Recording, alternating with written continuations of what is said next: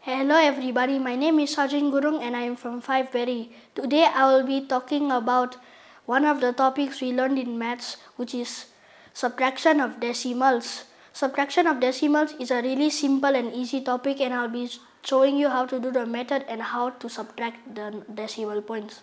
Now let's take an example.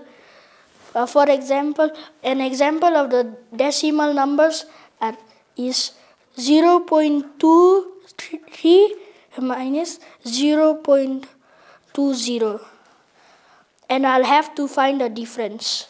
But how do we do it? To find the difference, we will be using the method on the, I will be showing you the method on the square paper.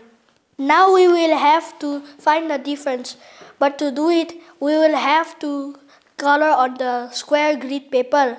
So there is 2 here for 2 tenths, uh, two. So we will have to share 2 tenths.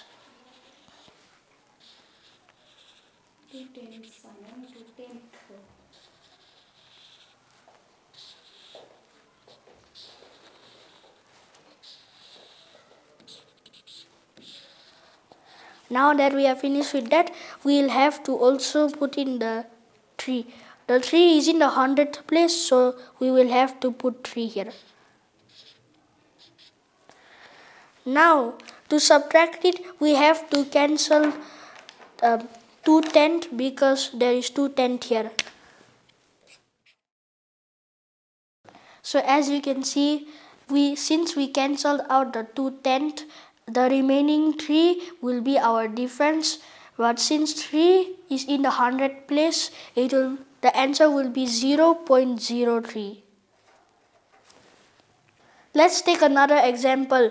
Another example of decimal number are, is 0 0.33 and 0 0.24.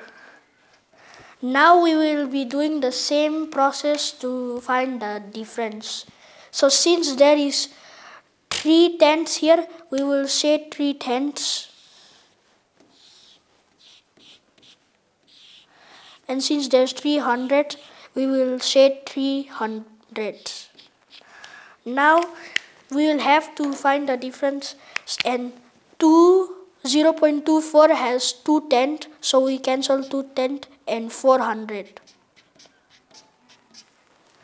Now the remaining will be our difference. Now let's count 1, 2, 3, 4, 5, 6, 7, 8 and 9. So the difference is 0 0.09. So that so we will write 0 0.09 here. I hope you enjoyed the video and I hope that you learned something new about subtraction of decimals. L make sure to like and subscribe and hit the notification bell to be notified when we make a new video. Thank you.